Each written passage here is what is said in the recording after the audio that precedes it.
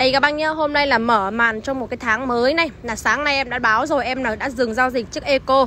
Sport màu đỏ về làm dâu Quảng Ninh Cọc trước 100 triệu để rút hồ sơ.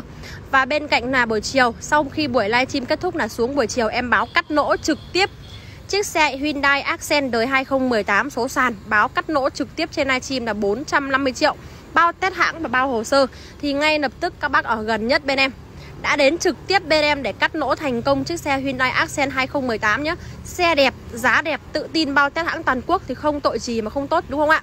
Accent này, dừng giao dịch. Eco dừng giao dịch. Và hôm nay em dừng giao dịch 5 chiếc xe.